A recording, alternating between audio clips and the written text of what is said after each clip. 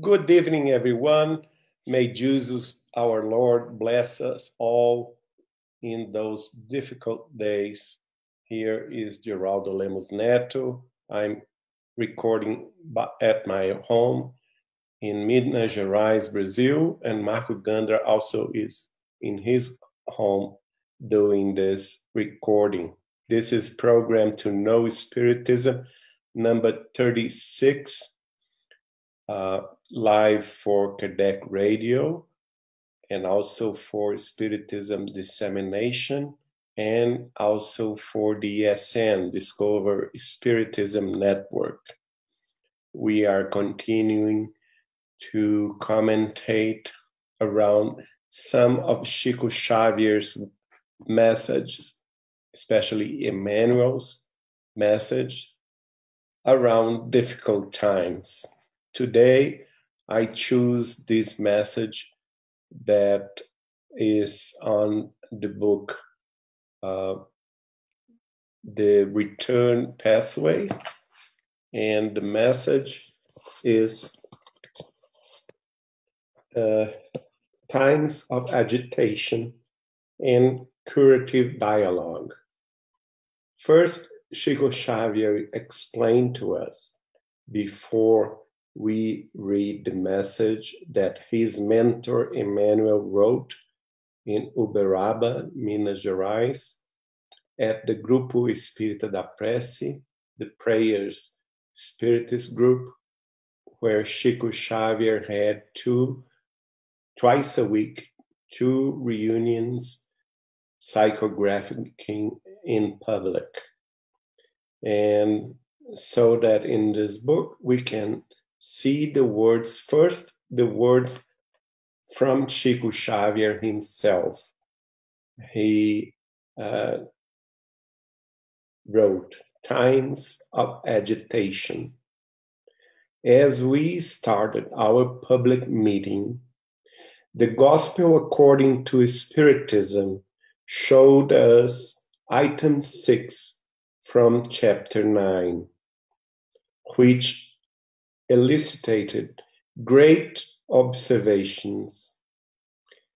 Those who took to speak reminded us of the present state of agitation in the world today. So, this is pretty much nowadays, right? Because we are living nowadays these great times of agitation so so that this message can very well be for all of us. Then chico xavier uh, wrote they brought topics they broached topics of current misunderstandings and irrational antagonisms, which create difficulties in general relationships. And they also brought into discussion the lamentable cases in which simple clashes of opinions foment savagery and delinquency. So, this is very much for nowadays, for our time, because we are seeing this, this irrational antagonisms everywhere, here in Brazil, there in the United States, there in the United Kingdom, in Europe, everywhere. And all discussions uh, are situated in this lamentable cases in which simple clashes of opinions may generate and fomentate savagery and delinquency, as Chico Xavier himself told or wrote to us. At the end of our activities, our dear friend Emmanuel wrote the page that I am sending to you with wishes of seeing it published in the Diary of São Paulo. Next to your clarifying commentaries. Chico Xavier was addressing Professor Herculano Pires that had a column at the journal uh, Diário São Paulo, the São Paulo Diary. And at that time in the 70s, uh, Chico uh, always explained the, the surroundings, the ambience of the, the meeting, the spiritist meeting that he had at the spiritist group of the pray, the prayer. And after that, he sent also the message that he received from his mentor, Emmanuel. And at that time, Professor Herculano Pires also published in this column, in this uh, São Paulo Diary co- column, his comments around the, the theme. And Chico Xavier closed his explanations writing on behalf of the, of the companions here and myself, I remain deeply in your debt for your constant attention to our petitions. Yours truly, Francisco Cândido Xavier, Chico Xavier. He was, uh, of course, saying about the times of agitation. And then we can see how fortunate we are to receive this message that is from his mentor Emmanuel, because it so much implies to all of us the situations of living that we are facing nowadays all over the world in this coronavirus crisis. And most of us on earth now are living in quarantine in our homes, in uh, in the perceiving of uh, social distance to confront the spread of this virus, and so that many of us must be patient, must be calm, in tranquility of mind and soul, uh, understanding that all crises are transitory, and facing the reality of our souls that we need to get together and pray, that we need to understand our limitations, that we need to maintain our faith and our hope in the higher spirits, in Jesus Christ our Lord, and in God Himself, that is presiding all kinds of trials and obstacles and experimentations of of life on on earth. And because of that many of the of us of course are having problems are having anxieties are having anguish are having problems at uh, uh, at home with our relatives and fr- and families members. And so that this message is right to the point that we need to listen so that I, I chose that message to bring to all of you. And the message is entitled Curative Dialogue. Just the title is a message Curative Dialogue. And Emmanuel wrote, Observe the extension of human suffering and make your speech into an instrument of relief and peace. Are we doing this? Are we let our speech be an instrument of relief and peace? Because if not, we are in the wrong pathway. We must readjust our speech to so that he, it can be an instrument of relief and peace. Emmanuel wrote, You will find infirm individuals of the soul around you appearing from every place. Some with psychological maladjustments from other existences, presenting obscure traumas in the mental fields. Others who could not fulfill their commitments and who now wander in this world of self loathing. Desperate others who walk the fine line between delinquency and a productive life. And the afflicted ones, almost all of them tied to process of anguish.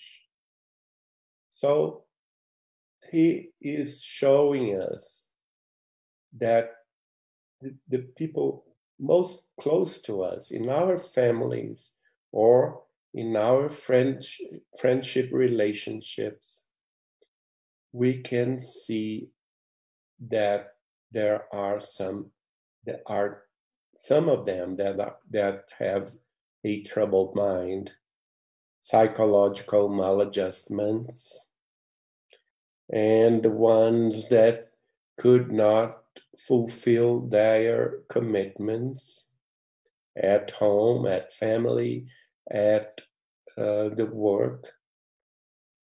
Others that uh, stay in this fine line between delinquency and a productive life. And most of them, the afflicted ones, all of them tie to the problems or process of anguish. They are all infirm individuals of the soul who must be medicated, first and foremost, with a curative dialogue. So here, Emmanuel is showing us our responsibility as Christians, as Spiritists. We must give them our most important, our forefront, first and foremost,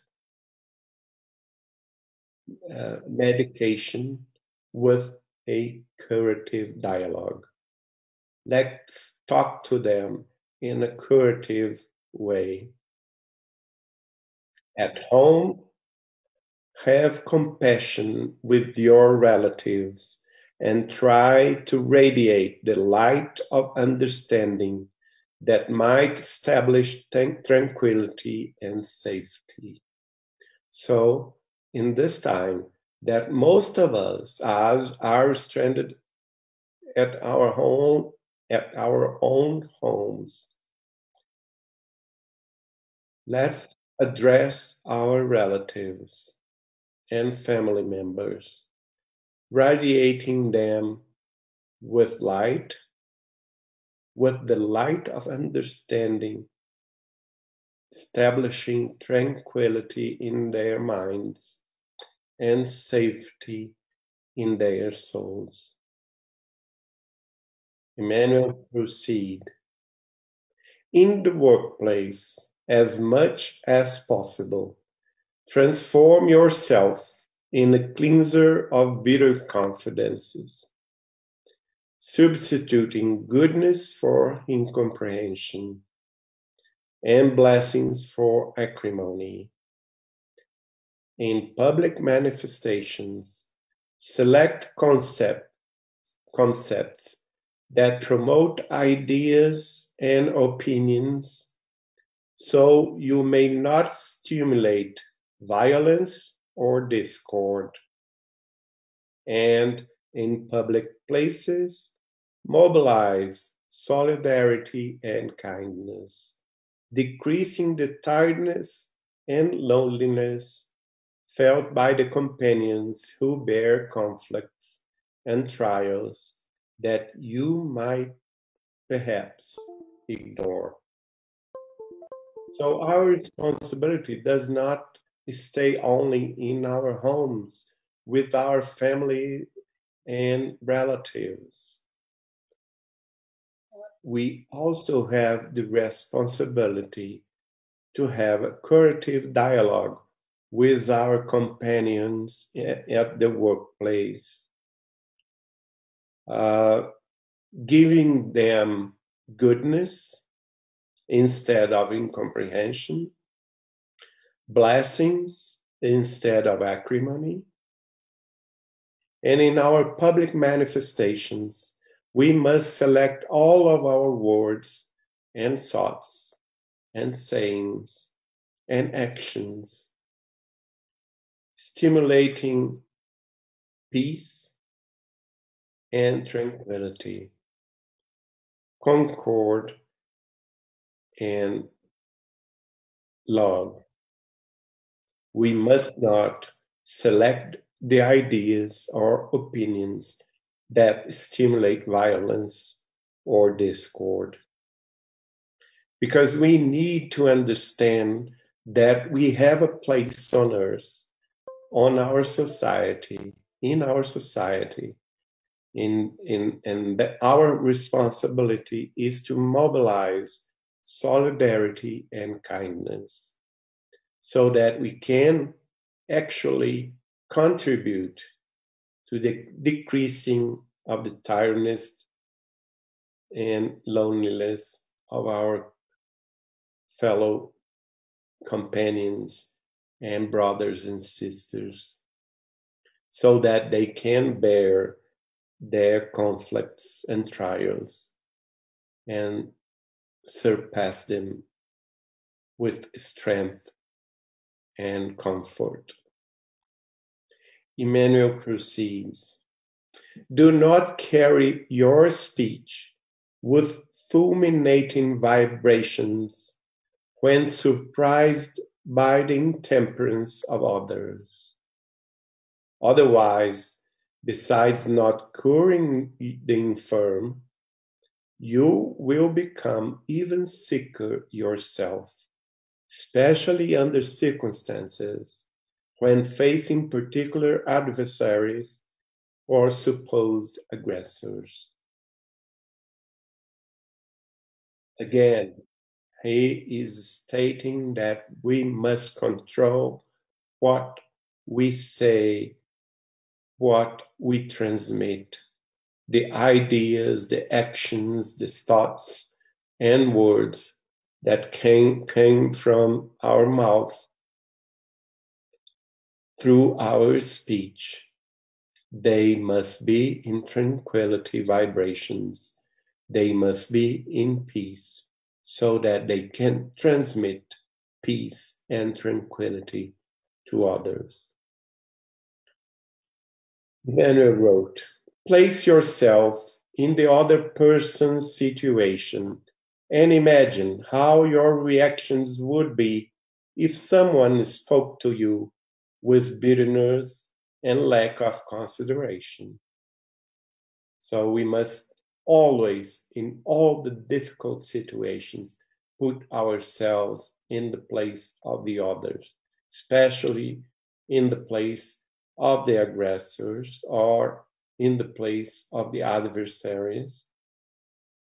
And we certainly will understand that maybe they carry trials and conflicts that perhaps we all ignore. So that let's understand the others so that we can understand ourselves if we make peace with the others, with our brothers and sisters, we will have peace inside our minds and souls. Emmanuel proceed. The denser the clouds in the environment, the deeper the mental imbalances around us. So this is a physics things.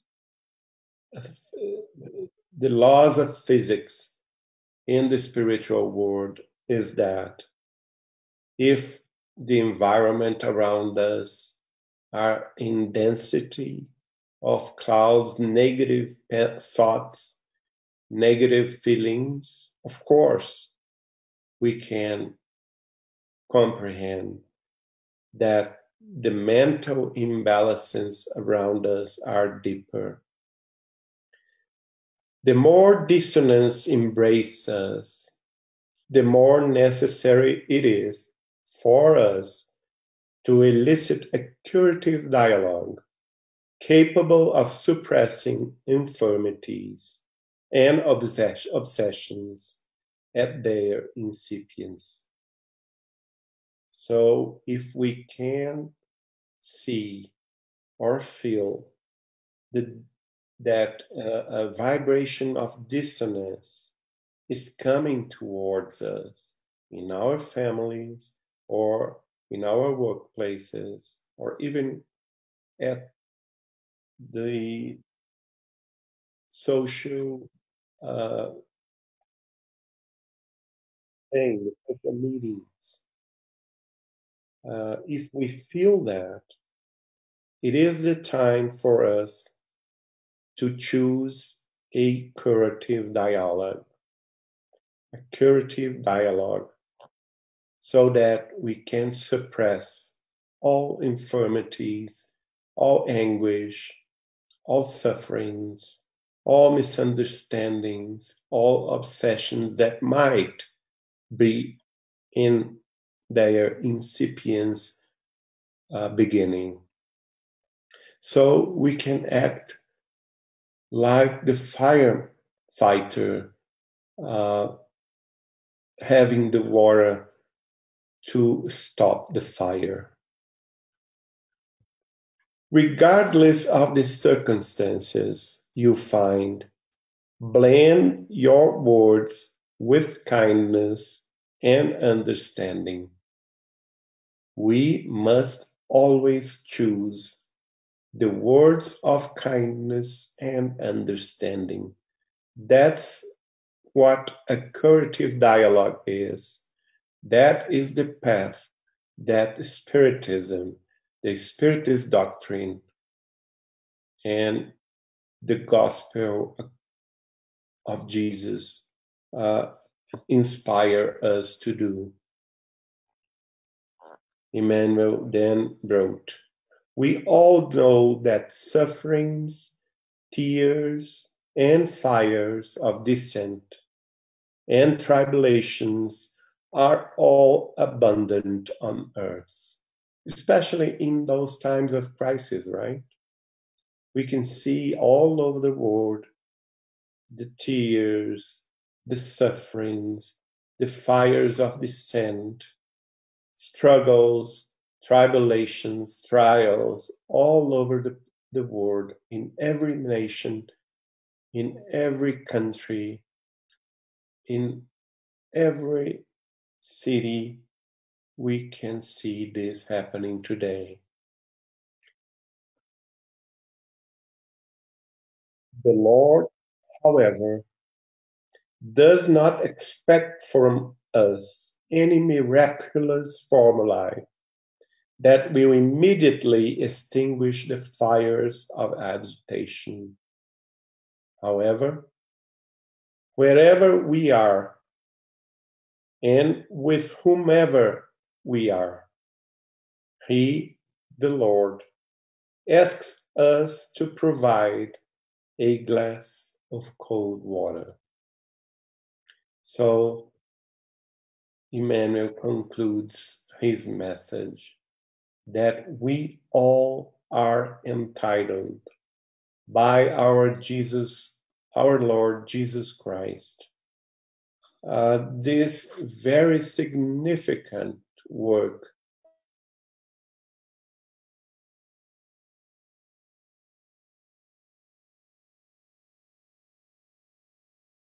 relatives, companions at workplace, or even in the public places.